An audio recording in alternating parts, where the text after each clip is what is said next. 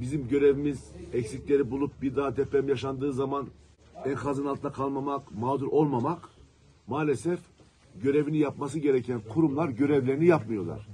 Bakın bugün ortaya çıktı. Kızılay'dan hala bugün depremin 21. günü herkes çadır dilenirken, çadır isterken Kızılay kendi çadırını, elindeki çadırını ahbap denen kuruluşa satıyor. Sivil toplum örgütüne satıyor. Yani devletin çivisi çıkmış. Bakın Kızılay'da hangisini eleştireceksin? Ellerinde 2500 çadır kalmış onu mu eleştirelim? Bu çadırı Kızılay gibi bir kurum ticarileşmiş satmasına mı eleştirelim? Neyin eleştirelim? Nereyi tutarsanız elinizde kalıyor.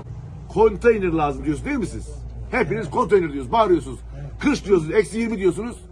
Malatya'da 580 dönümlük Kızılay'ın konteyner üretim merkezi var.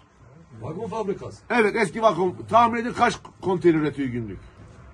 20 konteyner üretiyor günlük. 20. Ticarileştirdikleri gibi. Keşke doğru yönetebilselerdi. Ya Kızılay gibi bir kuruluşun elinde çadır olmaz mı? Çadır olmaz mı?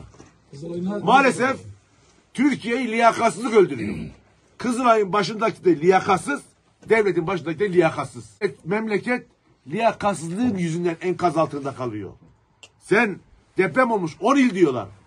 Ya sen tut bakalım 5 milyon çadırı, 3 milyon çadırı. Hatırlayın Van depreminde. Muhalefet eleştiriyorsun. Utanmasa diyecekler ki depremi de Bay Kemal yaptı diyecekler. Böyle bir rezillik olmadı.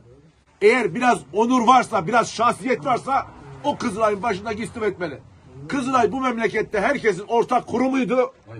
Maalesef Kızılay'da kimse güvenmiyor. Niye? Çünkü Kızılay Amerika'daki Manhattan'daki. Manhattan'daki binaya 10 milyon dolar para gönderiyor. Senin görevin mi kardeşim? Senin görevin mi? Sen çadır yap, konteyner yap. Bu millet bu soğukta kırılıyor hala. Hala 21. günde çadır istiyor herkes.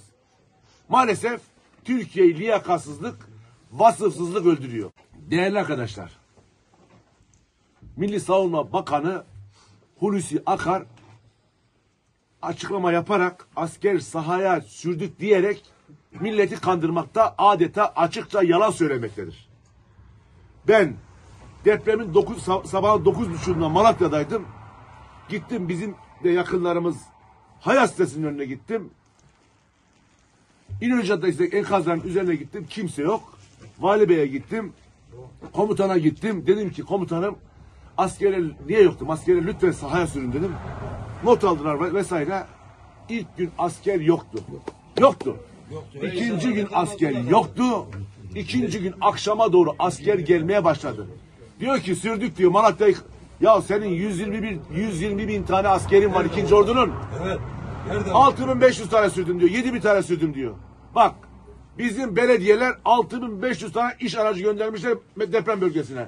Birer kişiyle çarparsan 6500. İkişer kişiyle çarparsan 13000. CHP'li belediye bile senden daha fazla gö- göndermiş. Asker bizim göz bebeğimiz asker değil mi? Gö- Göz bebeğimiz. Diyoruz. ordumuz ya. Ordumuz. Ya. E sen ne yapıyorsun? Ne yapıyorsun? Bazı korkuların neticesinde askeri sahaya sürmüyorsun. Şunu söyleyelim askerimiz disiplinli. Arama kurtarmada uzman. Askerimiz disiplinli arama kurtarmada uzman. Geldiler. Üçüncü gün, dördüncü gün gördüm hakikaten müthiş çalıştılar.